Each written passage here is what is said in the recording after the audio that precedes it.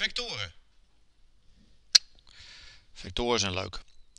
Als we een, uh, een willekeurige vector tekenen, zo, dan geven we het aan met a met een streepje eronder. Je mag een vector ook schrijven als a met een pijltje erboven. Er zijn mensen die schrijven vectoren met hele dikke letters, vet gedrukt. A, maar ook, vind ik niet zo elegant. Uh, je mag zeggen A met een streepje. En ik ben opgevoed met A met een streepje aan de onderkant. Maar net wat u wilt. Een vector heeft een lengte en een richting.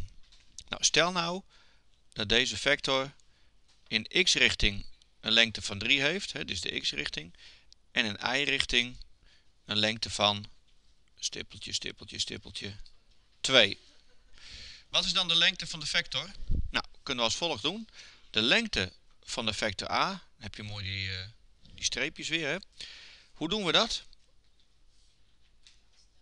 Het lijkt me ook, hè, de stelling van Pythagoras. Rechthoek, driehoek is wortel uh, eh, 3 in het kwadraat plus 2 in het kwadraat. Is de wortel van 9 plus 4 is de wortel van 13. Nou, daar kunnen we niet zoveel moois van maken. Dat, uh, dat blijft gewoon zo. Dan zit hier een hoek. Phi. Hoe groot is die hoek? Hoor nog niks, maar volgens mij is het arctangens 2 derde. Voor de mensen voor wie dat te snel gaat kun je zeggen, de tangens van phi is de overstaande, is 2 gedeeld door 3. En dan volgt eruit, phi is arctangens. Nou, die kun je berekenen. Dat ga ik nu even niet doen, maar dat kun je zelf. Dus een vector heeft een lengte en een richting. Dan heb je, met vectoren heb je twee bouwsteentjes. Dat is de vector E1. Dat is 1 naar rechts en 0 omhoog. En ik heb de vector E2. Dat is 0 naar rechts en 1 omhoog. Dat zijn eigenlijk de Lego blokjes waarmee je al die vectoren kunt bouwen. Dus je zou kunnen zeggen dat die vector uh, A, dat is 3 naar rechts en 2 omhoog. Dat is eigenlijk 3 keer 1, 0 plus 2 keer 0, 1. Zie je dat? Is 3, 0 plus 0, 2 is 3, 2. Dan hebben we ook meteen gezien dat we vectoren bij elkaar op kunnen tellen. Ook heel makkelijk.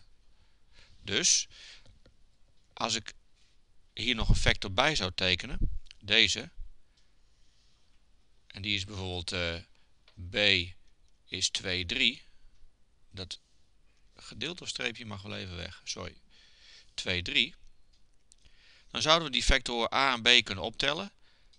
a plus b is dan a is 3, 2, plus de vector b, 2, 3, is 5, 5. Nou, wat doe je eigenlijk? Je gaat eigenlijk die vector b, ga je kopstaart aan die vector a plakken. Zie je dat?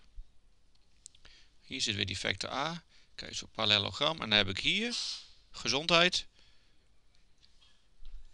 Hier zit dan die vector a plus b. Zie je?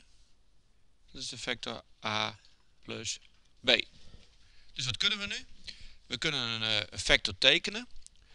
We kunnen de lengte van een vector berekenen. We kunnen de hoek van de vector berekenen. En we kunnen twee vectoren bij elkaar optellen. Nou, dat is heel wat voor een begin.